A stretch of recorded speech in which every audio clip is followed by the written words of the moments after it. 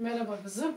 Ee, halacığım senden bize bir masal, destan, hikaye ya da bir hatıra anlatmanı istiyorum. E, tamam olur. O zaman ben sana güzel bir hatıramı anlatayım. Evet. E, çocukluğumdan kalan hatıramı anlatayım.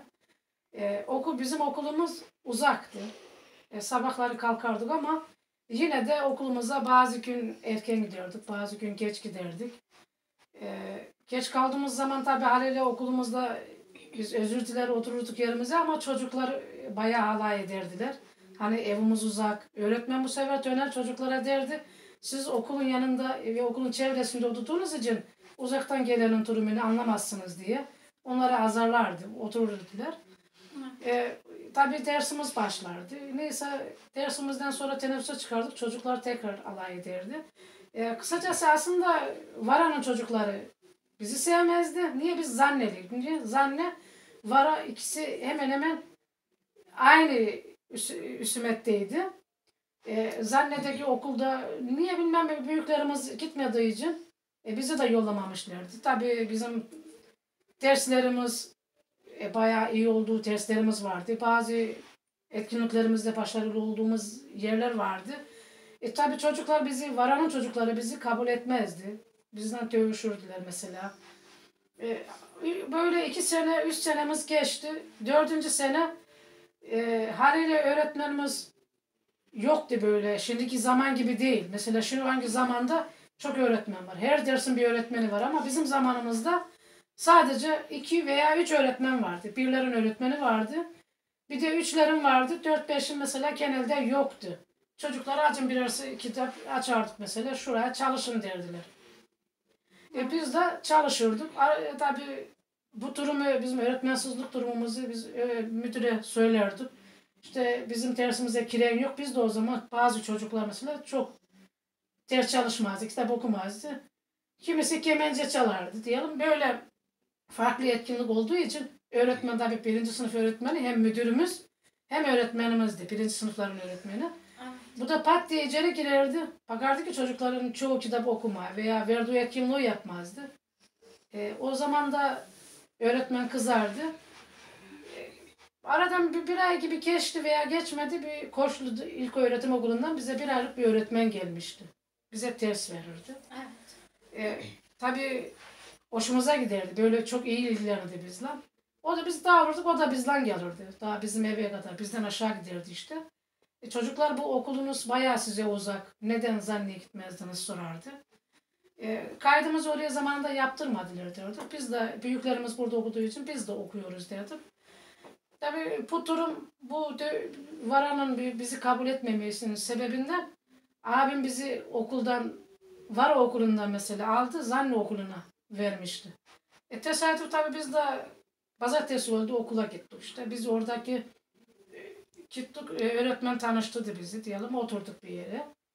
E, biz oturduk sıra öğretmen kitapları ağzın derdi. Benim oturduğum sıradaki arkadaş şöyle konuşmadığımız hasımlarımızın kızı çıkmış mı çocuğu çıkmış. Benim kitaplarımı böyle ite ite hep yere düşürüyor. E, haliyle e, ben de rahatsız olurum ilk olduğu için e, söyle, söyleyemesin öğretmen. Öğretmen çocuklar ödevlerinizi yapıyorsun, kitaplarınıza bakın derdi. Neyse ders bitti, teneffüse çıktık. İkinci derse girdik tabii haliyle. İkinci derse girdik. Bize bir müdür geldi işte tüm öğrenciler şimdi ortaokulun açılışı var dedi. Oraya gidilecek dedi. Öğretmen bizi dışarı aldı. Sıra haline geldik tabii. Ee, hep aynı sırada oturduğumuz arkadaşla beraber arka arkaya sıra olduk gidiyoruz. Tabii arkadaş Hasım bizim hasımların sahibinin kızı olduğu için sürekli benim şimdi ortaokuluna kadar böyle ayaklarıma vurarak mesela ite ite kalkıp gittik. E, gösteri tabii yapıldı. Geri döndük. E, dönüşte tabii ben de bazen yaptım. Yapmadım desem yalan olur. Niye? Hayır gidene kadar sürekli benimle uğraştı. Ben de gelgen ara ara uğraştım. E tabii haliyle ki aldık. Öğretmen dedi ki tamam paydos şimdi herkes evine gidebilir dedi. Biz evimize gittik. E ben evime, biz dağıldık eve çıktık. Bu sefer ben kendi okuluma Vara'ya gittim. E orada dağılmamıştı çünkü biz etkinlik için erken dağıldığımız için orada dağılmadı. Çıktık oraya. E, matematik dersiydi hiç unutmam. öğretmen sorardı mesela bize matematikten. Matematik dersinde iyiydi zaten. Ee, öğretmen bize tabii bana soru sordu. Dedi ki eğer bu soruları bilirsen yarın bu okuldasın dedi. E, bu okula kaydınızı alamazsınız dedi. Neyse e, tabii öğretmen bir sorduğu sorulara cevap verdi. Bu sefer oradaki çocuklar e, bir hafta ayrılığımızın ardından tabii haliyle biraz kırgınlıkları oldu mesela.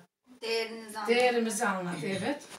E sonra televizyona çıktık işte arkadaşlarla beraber hepsi geldi işte hoş geldin işte ne olur bizim okula gel dedi.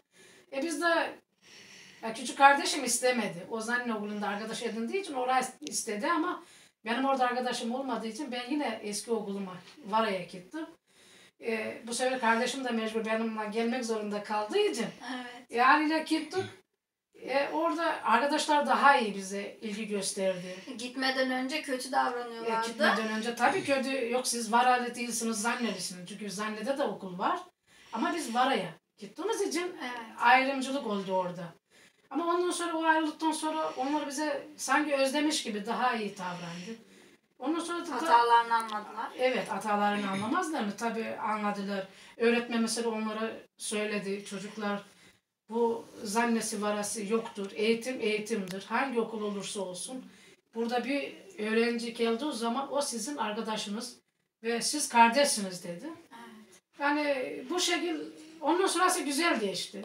Haliyle öğretmenimiz geldi. Ne bileyim yani gayet güzeldi. Birlik beraberlik. Yani insan özlüyor hakikaten bir hafta da olsa e, kendi okulunu, ne kendi öğretmenini, arkadaşlarını tabii daha farklı oluyor ister istemez.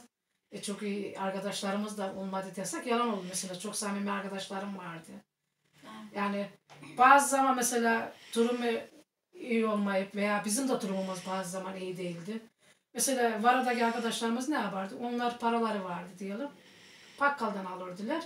Ama Evet. onların bakkaldan aldıkları diyelim şeker, chips, onun gibi bir şeyler mesela. Biz doğal olarak bizim de ne olurdu mesela? Yazın erik olurdu. Evet. Toplardık erik.